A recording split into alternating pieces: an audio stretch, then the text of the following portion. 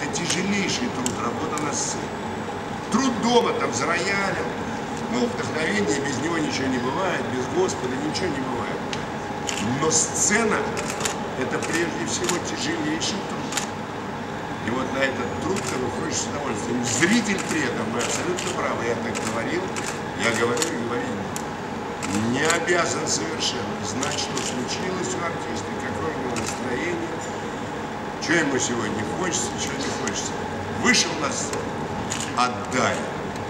И не надо дарить свое искусство. Очень люблю. Я сегодня вам подарю свое искусство. Не надо никому ничего дарить. Люди деньги заплатили. Ты им отдай свой труд, выверни себя до конца.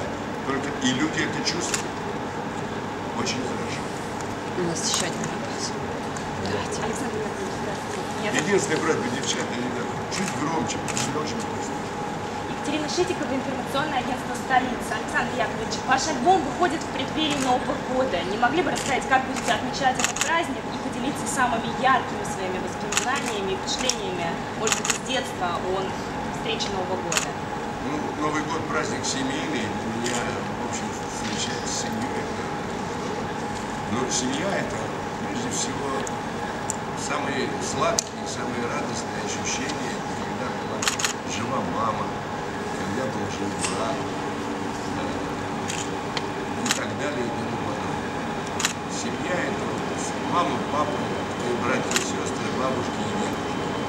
Потому что все-таки потом дети твои, которые уходят к друзьям, иногда и часто, тем более внуки, э, супруги, это, это семья, конечно, но не та. Для меня понятие семьи это, извините за советское слово, та ячейка, в которой ты вырос.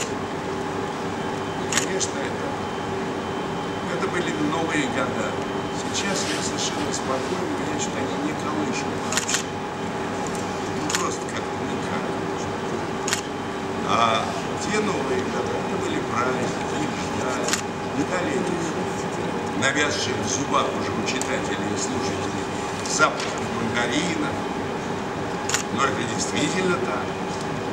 Ждали там твердо копченую колбасу, ждали новогодний огонек в обязательном порядке, сидели у телевизора.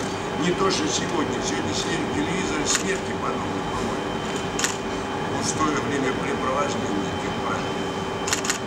А раньше же ждали этого события. Это снег, которого было очень много.